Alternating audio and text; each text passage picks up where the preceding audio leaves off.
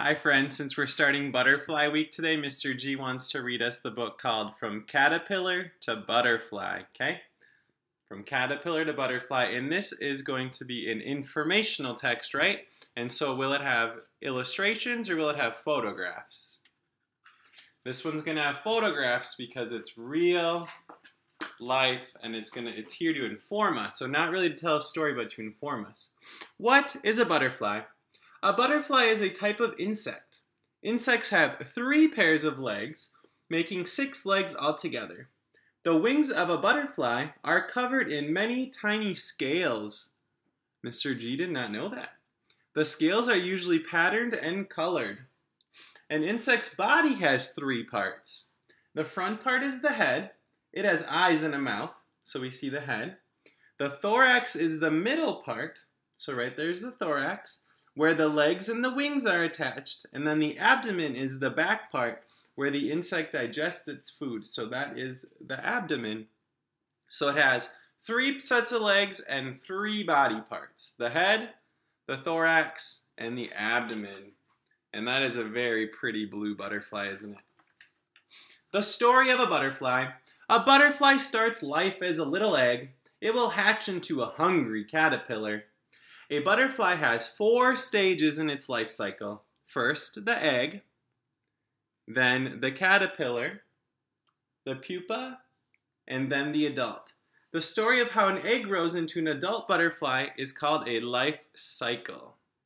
Does anyone know what kind of butterfly these um, orange ones are? We see them a lot around here.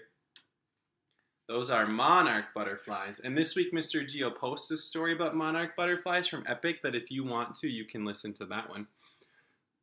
A new life begins. In spring, female butterflies look for safe places to lay their eggs. She lays them under the leaves where they are hidden from view, so she lays them under. Monarch butterflies lay their eggs on milkweed plants. The eggs stick to the leaves, okay? So they stick right on the leaves. Different types of butterflies lay their eggs on different plants. Peacock butterflies choose nettles. These plants have stinging hairs. The stings stop animals from eating the nettles and the butterfly eggs. Nettles are a safe place for the peacock butterfly to lay its eggs. The eggs hatch. A few days later, the eggs hatch and a tiny yellow caterpillar comes out of each one. Caterpillars spend most of their time eating, so they grow quickly. So we see that's what they look like when they're born. And then within a couple days, and then they start to get bigger and bigger. So monarch caterpillars become stripy as they grow older. A caterpillar is also known as a larva. When a caterpillar molts, it wriggles out of its old skin. As a caterpillar grows, its skin becomes too tight and it breaks. The caterpillar sheds its skin, revealing a new one underneath. This is called molting. Look at that big caterpillar on the bottom with the stripes. Staying alive. A caterpillar is soft and juicy. Lots of other animals want to eat it. But there are some clever ways to stay alive. A monarch caterpillar eats milkweed plants. The leaves are poisonous and they make the caterpillar taste bad. The caterpillar stripes warn hungry birds that it is poisonous. So because of the stripes, birds know it's poisonous. Many caterpillars are green, so they blend in with their surroundings. This is called camouflage.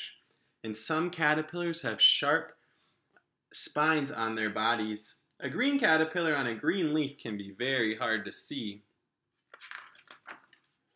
Making a pupa. Caterpillars grow fast. After about 14 days, a caterpillar is ready to change into a pupa. This is the next stage of its life cycle. 1. A caterpillar makes a silk thread and uses it to hang from a leaf. 2. It molts for one last time. The pupa is already formed under the caterpillar's skin. Once the skin is shed, the pupa hardens. The pupa is tough on the outside to protect the insect inside, and the caterpillar begins to change inside the pupa. What's it going to change into?